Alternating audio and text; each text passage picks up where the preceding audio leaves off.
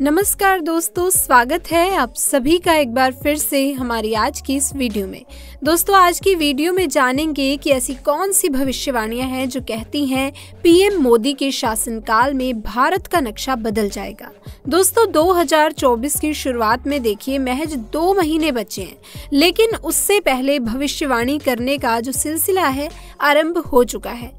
देखा जाए तो देखिए, भविष्यवाणी का एक अपना ही इतिहास रहा है। दुनिया भर के भविष्य वक्ताओं के अलावा धर्म ग्रंथों में मौजूद भविष्यवाणियों को समय के साथ सत्य होते हुए हर किसी ने देखा है। और शायद यही वजह है कि आज के दौर में भी भविष्यवाणी खंगाली जाती है।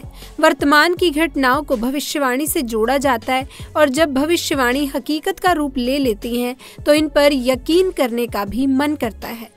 अब देखिए ना, दुनिया पहले से ही रूस और यूक्रेन के बीच छिड़े युद्ध को झेल रही है और ऊपर से इसराइल और हमास के बीच का भीषण जंग ने अब पूरी दुनिया को एक तरह से विश्व युद्ध के मुहाने पर खड़ा कर दिया है। दोस्तों, गाजा में नरसंहार हो रहा है। हवाई हमले के बाद अब ज़मीन पर आर पार की लड़ाई लड़ी जा रही है।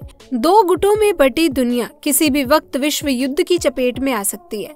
नो डाउट, और जिसकी भविष्यवाणी 450 साल पहले फ्रांस के भविष्य वक्ता कर चुके थे इसराइल और फिलिस्तीन के बीच आज जो कुछ भी हो रहा है। उसका ज़िक्र न सिर्फ़ माइकल नोस्ट्राडेमस की लिखी किताब द प्रीफेस में मिलता है, और अब तो न सिर्फ़ नासिरदा, बल्कि बुल्गारिया के बाबा वेंगा और भविष्य मलिक के हवाले से संत अच्युतानंद दास महाराज दी द्वारा भी बोली गई है। दोस्तों, कई बातों को अब तक देखा जा रहा है और पढ़ा जा रहा है और ऐसे में आने वाला समय भारत की कैसी तस्वीर दिखाएगा?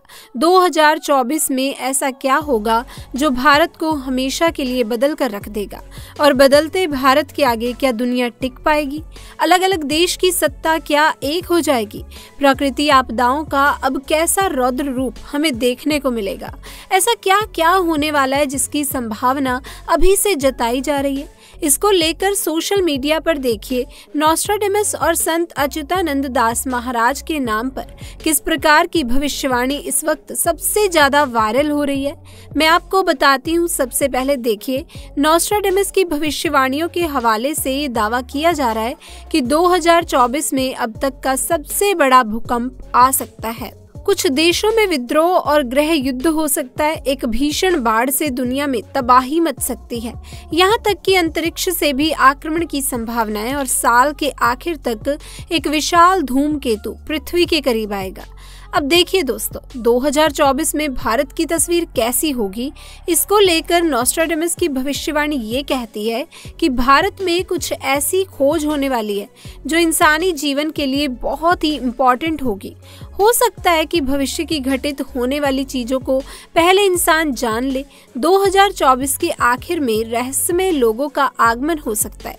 कह रहे हैं कि हिमालय में तपस्या करे ऐसे संतों का आगमन होने वाला है, जो हज़ारों वर्षों से जीवित हैं और इसी साल भारत अंतरिक्ष में अपनी एक सत्ता कायम करने में भी कामयाब होगा। दोस्तों 2024 में दुनिया बहुत ही बड़े युग परिवर्तन से गुजरेगी और इस दौर में भारत से एक मुक्तिदाता आएगा। जिसकी बात सभी मानेंगे और शायद वही दुनिया का सम्राट होगा।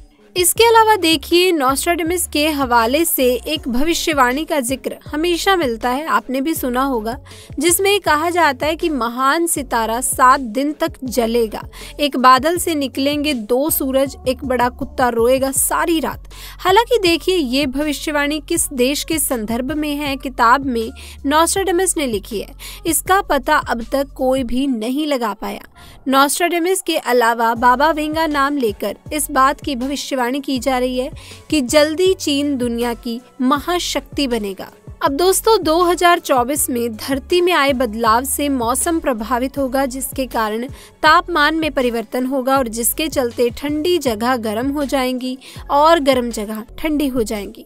ग्लेशियर के ग्लेशियर पिघलने लगेंगे, जिस समुद्र किनारे शहर जो हैं, वो जलमग्न हो जाएँगे। अब देखिए, आज की डेट में एक नाम ऐसा है, जिन्हें भारत का नॉस्ट्रेडेमिस भी कहा जाता है। दोस्तों, हम बात करें संत अच्युतानंद दास महाराज जी की, जगत के नाथ प्रभु जगन्नाथ की धरती। यानी कि पुरी में जन्मे संत अचितानंद दास महाराज एक ऐसे महात्मा हुए हैं, जिन्होंने अपने तप और योग शक्ति के बल भविष्य मलिक पुराण की रचना की। तार के पत्तों पर लिखी गई भविष्यवाणी का आज भी पुरी के मतों में सुरक्षित है और इसी किताब के हवाले से भारत के संदर्भ में कई भविष्यवाणी की जाती हैं। कहा जाता है कि धरती तीन चरणों से गुजरेगी। सबसे पहले काल का अंत होगा, फिर महाविनाश होगा और उसके बाद एक नए युग का आरंभ होगा। और कहते हैं कि जैसे ही शनि मीन राशि में प्रवेश करेंगे, भारत पर संकट के बादल मंडराने लगेंगे, किसान खेती करना छोड़ देगा। जंगली जानवर अचानक से शहर और गाँव पर अपना हमला शुरू कर देंगे। आसमान में ऐसा प्रतीत होता है, दो सूर्य निकले हैं और जगन्नाथ मंदिर की बाईसवीं सीढ़ी तक पानी जब आ जाएगा उस वक्त भगवान के विग्रह को उनके भक्त ले जाएँगे, एक और प्राकृतिक आपदा होगी और दूसरी और महायुद्ध होंगे। और इंसानी नरसहार ऐसा होगा कि विश्व की जो जनसंख्या है, वो चौरासी करोड़ रह जाएगी। तो 2025 के बाद का समय एक विभिषकों के समान होगा, वहीं लोग बचेंगे जो सत्य और धर्म के मार्ग पर चलेंगे। ऐसा सब कुछ संत अच्युतानंद दास महाराज के हवाले से, भविष्यवाणी का पुराण के हवाले से ये सब कहा जाता है।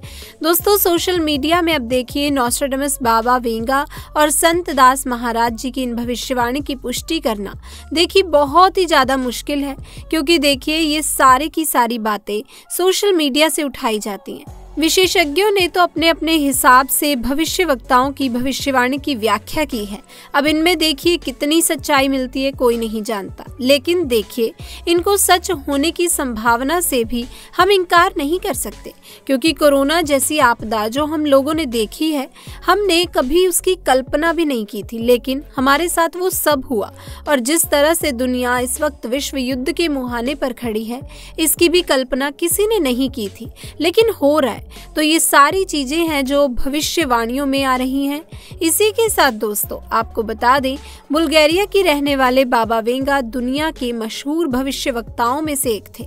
बारह साल की उम्र में ही बाबा वेंगा की दोनों आँखों की रोशनी चली गई थी। बाबा वेंगा की अगस्त उन्नीस सौ छियानवे में मौत हो गई थी। अपनी मौत से पहले बाबा वेंगा ने भविष्यवाणी करती थी। बाबा वेंगा ने साल 2023 के लिए कई भविष्यवाणियाँ की थी, जो सच साबित हो चुकी हैं। बाबा वेंगा ने 2024 को लेकर कई खतरनाक भविष्यवाणियाँ की। भारत के लिए बाबा वेंगा की बेमौसम बरसात वाली भविष्यवाणी सच साबित हो चुकी है। इस साल मार्च और अप्रैल में बहुत ही ज़्यादा बारिश देखने को मिली।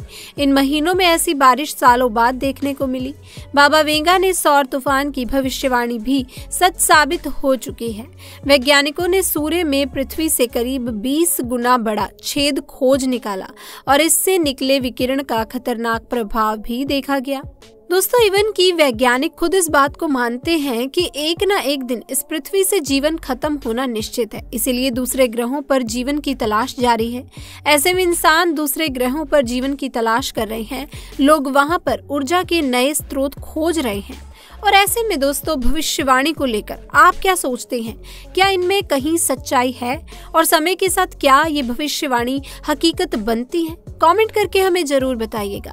इसी के साथ अगर आपको वीडियो पसंद आई हो इन्फॉर्मेशन अच्छी लगी हो तो दोस्तों, इस वीडियो को जल्दी से जाके एक लाइक कर दें शेयर कर दें और चैनल को सब्सक्राइब करना बिल्कुल भी ना भूलें। Thanks for watching my video